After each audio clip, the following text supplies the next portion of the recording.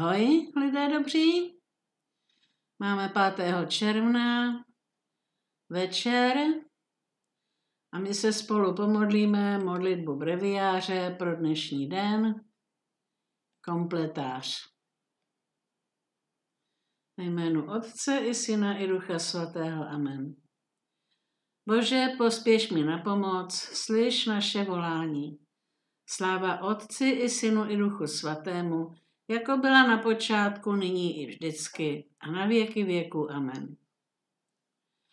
V tento nyní večerní čas děkuje Bože každý z nás za všeliká dobrodění, která nám nehodným činíš. A také prosíme tebe, dej nám, ať poznáme sebe, naše dnešní provinění dobrých skutků nečinění.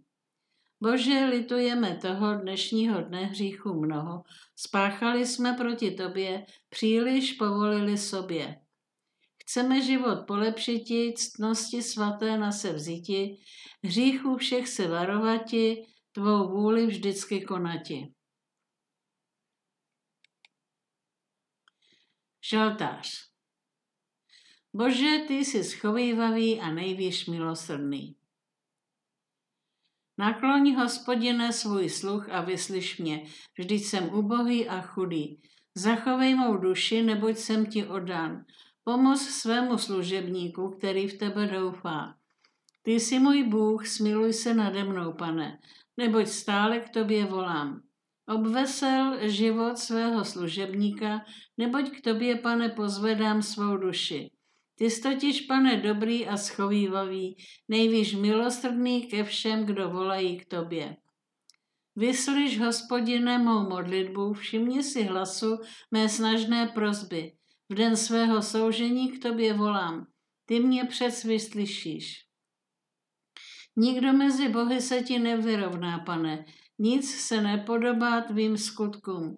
Všechny národy, které jsi učinil, přijdou, budou se ti klanět, pane, a velebit tvé jméno, protože ty jsi veliký a činíš divy, ty jediný jsi Bůh. Pouč mě o své cestě, hospodine, abych kráčel v tvé pravdě. Veď mé srdce, aby se bálo tvého jména. Chci tě chválit, pane můj Bože, celým svým srdcem a věčně velebit tvé jméno neboť veliká byla ke mně tvá láska a z hlubin podsvětí si vytrhl mou duši. Bože, povstali proti mně spupní lidé a tlupa násilníků mi ukládá o život. Neberou na tebe ohled, ty však si, pane Bůh, milosrdný a milostivý, váhavý k hněvu, svrchovaně laskavý a věrný. Obrať se ke mně a smiluj se nade mnou. Uděl sílu svému služebníku a zachraň si na své služebnice. Dej mi znamení své přízně, ať to vidí, kdo, tě, kdo mě nenávidí a zahambí se, že ty, hospodine, jsi mi pomohl a potěšil mě. Sláva Otci i Synu i Duchu Svatému, jako byla na počátku, nyní i vždycky a na věky věků. Amen.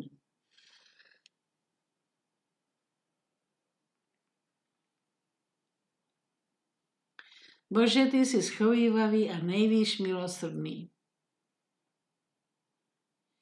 Krátké čtení. Bůh nás neurčil k tomu, abychom jemu propadli jeho hněvu, ale abychom získali spásu skrze našeho Pána Ježíše Krista, který za nás umřel, abychom my žili spojeni s ním, ať živí nebo mrtví. Zpěv po krátkém čtení. Bože, v tebe důvěřuji, do tvých rukou svěřuji svůj život. Ty mě vedeš a chráníš, věrný Bože, do tvých rukou svěřuji svůj život.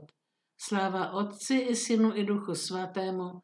Bože, v tebe důvěřuji, do tvých rukou svěřuji svůj život. Simeonovo kantikum. Opatruj nás, Bože, když bdíme, abychom bděli s Kristem a ochraňuj nás, když spíme, abychom odpočívali v pokoji. Nyní můžeš, pane, propustit svého služebníka podle svého slova v pokoji, neboť moje oči uviděli tvou spásu, kterou si připravil pro všechny národy. Světlo k osvícení pohanům a k slávě tvého izraelského lidu. Sláva Otci i Synu i Duchu Svatému, jako byla na počátku, nyní i vždycky a na věky věku. Amen.